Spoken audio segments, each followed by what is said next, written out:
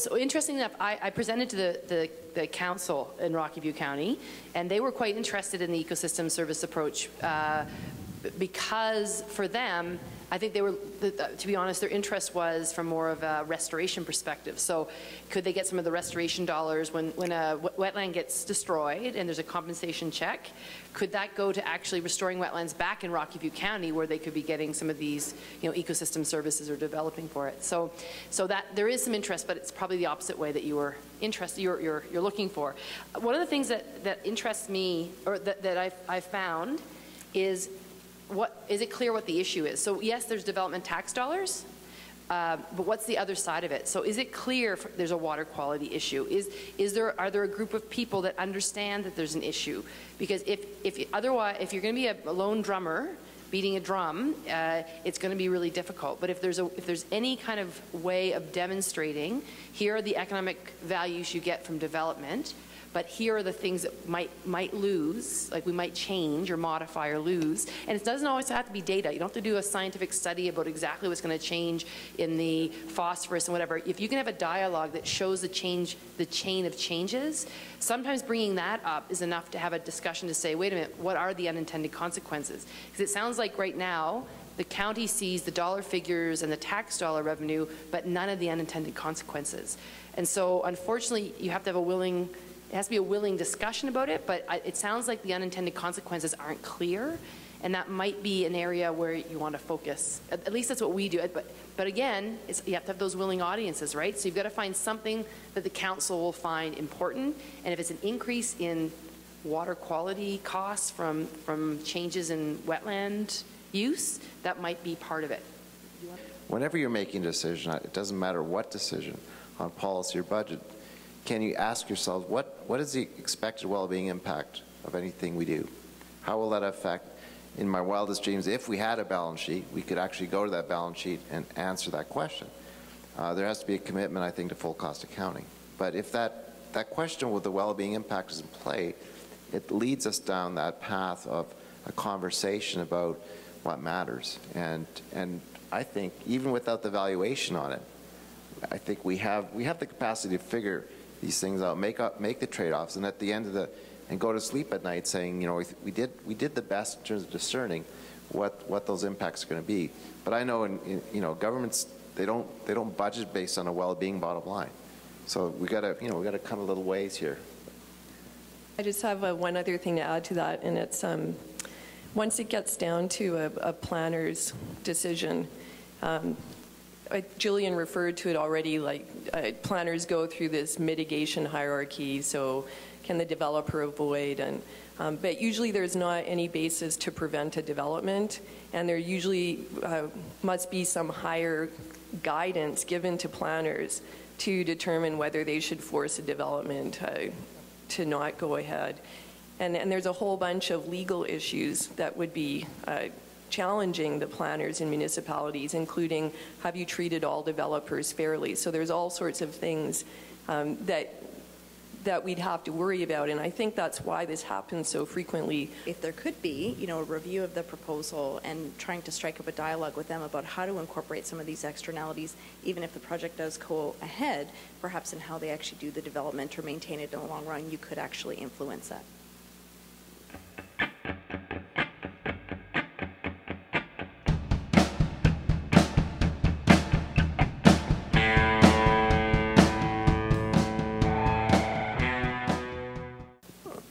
Thank you for that question. It's something I taught for 10 years uh, at the U of A.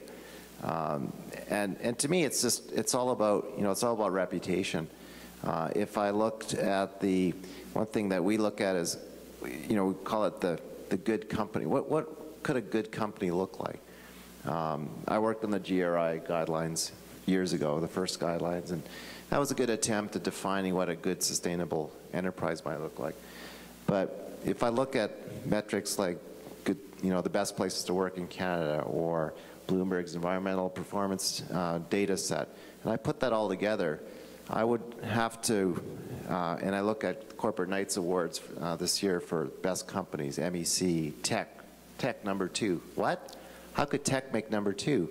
Well, because they obviously achieve some level of performance that I think is their comparative advantage vis-à-vis other resource companies. And so I would look as a measurement guide, what are the characteristics of Teck and their internal behavior that is clearly giving them a, um, a you know, there is no there is no renewal of license to operate based on that performance, right? Because corporations, I always explain to my business students, if you look at the legal documents of corporations, in one of the sections of the doc, legal document called best interest, nothing is defined in that section. The lawyers will say, don't even put fiduciary responsibility in there. So there is no compelling reason to be a, a good company. But good companies uh, know that brand and reputation and lifetime customer value is worth gold, and that should be on the balance sheet. So these, these issues of social license to operate are, difficult.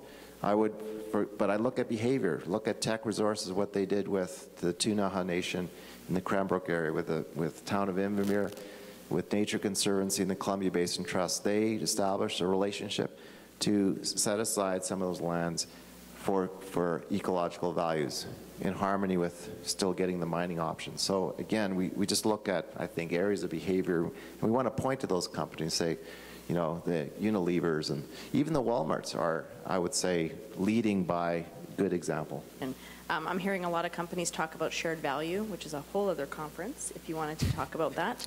Um, but really, uh, in my mind, in the conversations that I'm having, companies are looking at social license to operate as what is the potential limiting factors for them to make money, whether that's growth, it's new projects, et cetera. Um, I could say a company like, um, you know, a, a Plains Midstream lost their license to operate when Section 22 was issued last year. They actually had restrictions and limitations on their throughput in their pipelines, and they actually had to do quite a bit in terms of uh, investments in people and management systems and complete change to the way that they run their business from what I've, you know, from what I've heard. And, and they, it, it's taken that level of investment for them to win it back. And so it's really about what you're trying to achieve and what could be limiting uh, and what you actually have to do to put in place to get stakeholder approval of how you operate your business. It's difficult to, to measure, um, and like anything, it's you can pick any metric to measure anything, really. I have a, a different take on social license, which is uh, some of the interesting ways that it motivates behavior. And uh, usually, uh, you know, companies aren't always in it for their brand, but they're in it for the sector. If the oil sands get shut down, it's Shell, it's everybody. It's not, and it's going to be because of the aggregate bad acting and not just one company. And so what it, that has led to is actually enormous pressure on government to change some of its policies and force regulated policies on the whole sector instead of just uh, companies going ahead and doing things on a voluntary basis. Because even if they do voluntarily make investments, if everybody else doesn't follow suit or they free ride off them, there's a big risk that they're all going to go down. And I think companies now are very conscious of that and avoiding that risk.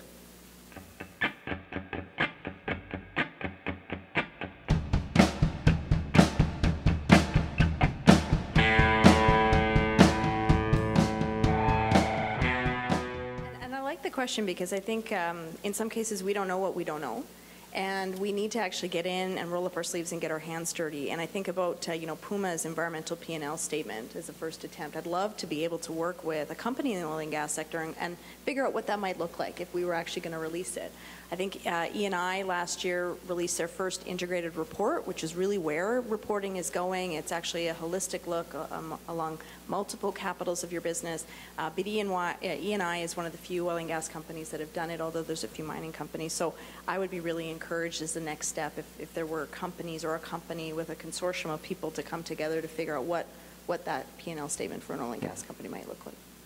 I've found really fascinating working with some of our GIS people internally is these little apps, right? So from an ecosystem services or from a monitoring or whatever, bird counts, there are ways of monitoring, having citizens out collecting, understanding, knowing things that can be uploaded somewhere into a cloud or something. Uh, again, not my area of expertise, but really it's beyond the individual holding things now. And I think that the 1.0, uh, whatever our Apple, I think if it needs to be in the citizens' domain because when I come up with things or we develop things, they want to know can, if I if I as a minister or as a deputy minister go out in public and I say this, where is the evidence that's going to back me up when I say something controversially? I'm like, well, we're not always going to have that, but we know the trajectory. So I think it's the 1.0 has to be, don't leave it with government. Just want to say I, I have the original iPhone that I cracked. Uh, I bought it in Seattle, and I still have it. And I think it's outrageous that we have i6 now, because the i1 was sufficient. With enough little, I can add a thermometer to it and do you know ambient air monitoring with the right app and the right right upgrade. It's outrageous, and and I'm saying. Nothing has changed in the accounting world for 500 years. We're still 1.0. What we haven't done is acted on the very basics of accounting principles, which the Sumerians actually taught us a long time before the Italians got wise to accounting in Venice. So there's nothing new under the sun. In fact, I would argue that most of what we're doing here is we're making stuff up. We're throwing numbers around other area, we're transferring values from Costanza to this and that, and it's just outrageous. And we're not, you know, we, so we believe we believe in these numbers. We believe in GDP, and I, and I, at the end of the day, I say we don't know anything. We are so clueless, and the best we can do is sit around in a circle and have a good conversation and talk about what we want for our grandchildren, and and be pragmatic. And uh, the numbers aren't going to help us necessarily. They will guide us. I mean, I love doing spreadsheets, but you know, at the end of the day, my wife said, you either buy the espresso machine and love it, or shut up about the spreadsheet. You know.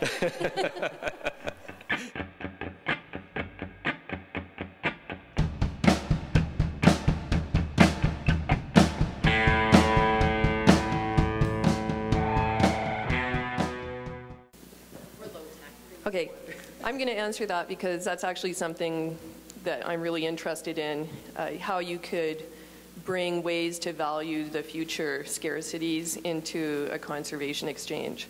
So, um, yeah, I don't think we need to worry about like counting the feathers on the budgie birds, but I do think we need to have our eye on what the future scarcities are. And um, if we start pricing wetland loss or uh, habitat loss in terms of the, the current state of the world, and we know that there is way more development coming, we're not valuing that change in terms of the future risk when we're going to run into the constraints. And that's actually what cumulative effects is all about. So we have thresholds, we have, you know, an endpoint, we can see where we want to go, but we aren't actually figuring out how these little changes are getting there and then making everybody pay.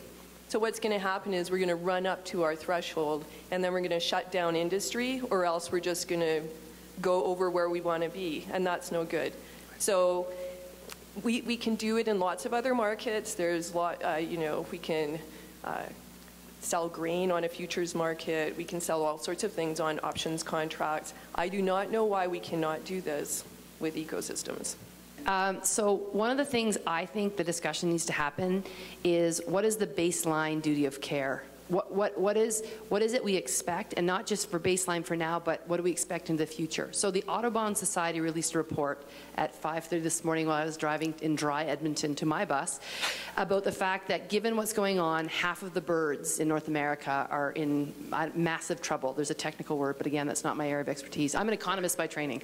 Um, but that's scary, right? Like that is really scary. But how do we actually, how do you drive that into something that people care about and what is our baseline duty of care? And that's a scary thing i think from a government perspective because it means that we have to tell landowners and we have to set up what, what is expected and we haven't done that a lot over time. But i think that's another discussion that needs to happen in the alberta citizen domain to actually get to from an equity perspective in the future, from this whole intergenerational piece, we haven't figured out even in real time what, what that is. So we, until we actually have those discussions about now, how are we going to have those intergenerational equity discussions? And I think it's fascinating. I think Alberta is the perfect place because we're, we're, we're going hard on development, right? So I, I think, yeah, I'm going to stop. So this is a teachable moment. Uh, any, anyone who took finance knows that net present value is calculated on discounting the future. But did you know in the Dark Ages when they were building cathedrals that took 200 years over maybe four generations of stonemasons, they used negative interest rates in their net present value. What does that mean? It means you build cathedrals that take 200 years, you value the future, and you spend the time, right? First Nations teach us that. You know, they did potlatch, they had the wampum belt, which represented all the material wealth. They didn't discount the future, right? So we're using tools that are causing us to make decisions right, that are literally discounting the future and the value of these things as significant to human well-being. So, you know, again, we need to go back and, and look at the tools and the assumptions we're working with. And um, I love First Nations for that reason because they remind us that, you know, in their culture, it was about abundance and potlatching and gifting and sharing and sitting in circle. And they didn't consider being on the land work. It was life. And we, we don't even know what money is. So I'm going to leave you with that. You think about what money is.